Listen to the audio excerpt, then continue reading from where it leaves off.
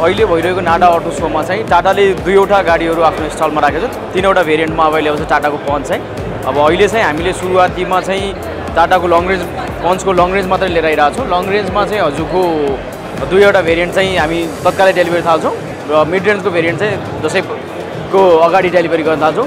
साथै अब यहाँको माहौलमा चाहिँ हजुरको हेर्नुहुन्छ भने एकदमै भिडभाड देख्न सकिन्छ र एकदमै रुचाइएको प्रडक्ट पनि हो।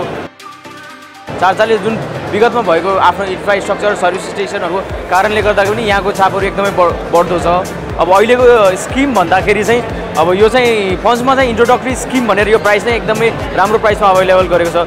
साथै अब यो नाडाभरिको लागि चाहिँ ज जसले यहाँ बुकिङ गर्नुहुन्छ इभी गाडीहरू उहाँहरूको लागि चाहिँ वारेन्टी पिरियडभरि जुनै पनि टाटाको सर्भिस स्टेसन चार्जिङ स्टेसनहरूमा फ्री नै हुन्छ चार्जिङहरू टियागोको लागि चाहिँ हामीले नाडा विशेषको लागि भनेर कपालको लागि थाइल्यान्ड टुर अफर लिनु भएन भने चाहिँ एक लाखसम्मको क्यास डिस्काउन्ट अफर गरिरहेको छौँ टाटाको इभी गाडीको प्राइस रेन्जहरूको कुरा गर्नुपर्दा चाहिँ टियागोमा हजुरको तिनवटा भेरिएन्टहरू अभाइलेबल छ।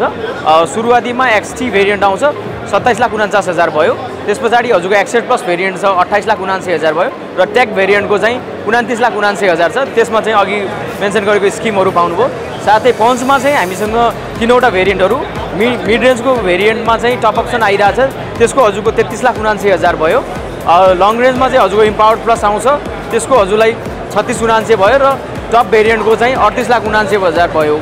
अब पन्चलाई चाहिँ यो लिमिटेड अफर लिमिटेड टाइमको लागि भएर यो प्राइस नै एकदमै राम्रो एक्सक्लुसिभ प्राइसमा लन्च गरेको। छ